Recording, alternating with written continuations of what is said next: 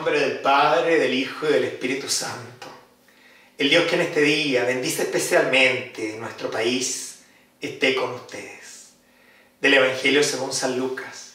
Jesús entró en Cafarnaún. Había allí un centurión que tenía un sirviente enfermo a punto de morir, al que estimaba mucho. Como había oído hablar de Jesús, envió a unos ancianos judíos para rogarle que viniera a sanar a su servidor. Cuando estuvieron cerca de Jesús, le suplicaron con insistencia diciéndole, Él merece que le hagas este favor porque ama a nuestra nación y nos ha construido la sinagoga. Jesús fue con ellos y cuando ya estaba cerca de la casa, el centurión le mandó decir por unos amigos, Señor, no te molestes, porque no soy digno de que entres en mi casa. Por eso no me consideré digno de ir a verte personalmente Basta que digas una palabra y mi sirviente se sanará. Porque yo, que no soy más que un oficial subalterno, pero tengo soldados a mis órdenes, cuando digo a uno ve, él va, y a otro ven, él viene, y cuando digo a mi sirviente tienes que hacer esto, él lo hace. Al oír estas palabras, Jesús se admiró de él y volviéndose a la multitud que lo seguía, dijo, yo les aseguro que ni siquiera en Israel he encontrado tanta fe.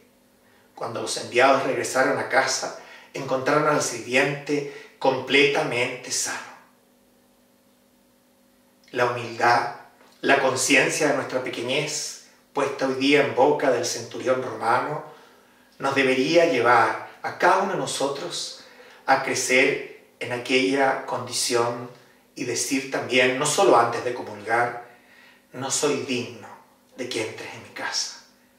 Ya lo decía Isabel, cuando movía por el Espíritu Santo al recibir la visita de María en su casa en la montaña de Judá, exclama muy parecidamente al centurión, ¿quién soy yo para que la madre de mi Señor me visite?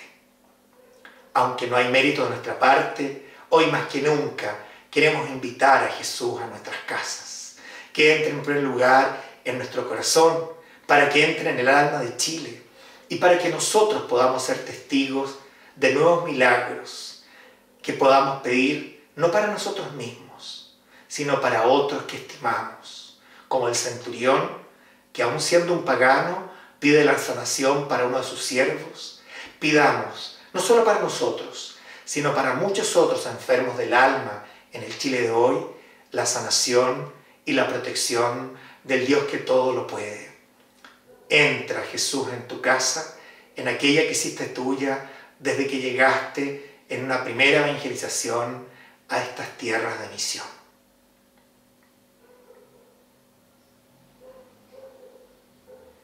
Creo, Jesús mío, que estás real y verdaderamente en el cielo y en el santísimo sacramento del altar.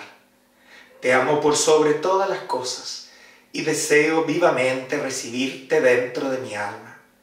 Mas no pudiéndolo hacer ahora sacramentalmente, ven espiritualmente a mi corazón.